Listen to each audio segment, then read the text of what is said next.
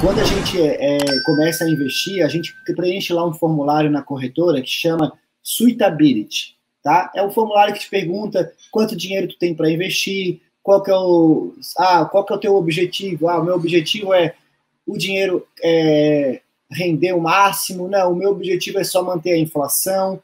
Ah, o meu objetivo é só ter o suficiente para poder resgatar daqui a um mês. Tem algumas perguntas que eles fazem. E tem uma pergunta lá que é bem determinante, que é o seguinte: ele pergunta o seguinte: ó, se tu visse teu dinheiro cair, sei lá, 30%, colocasse 10 mil e agora tem 7 mil, o que que tu faria?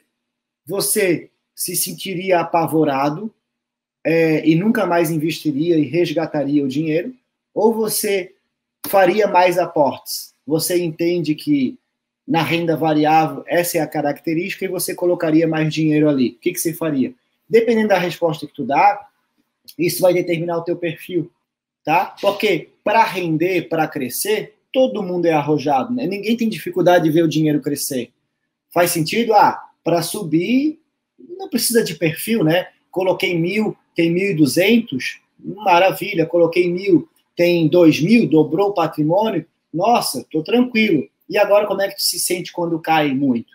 Então, é essa, essa é o que vai determinar a pessoa ser arrojado, moderado, conservador. É quão apetite tu tem por risco, né? Quão o teu estômago não embrulha com as quedas, quão o teu coração não fica acelerado, quão quanto que tu consegue dormir tranquila quando a bolsa cai,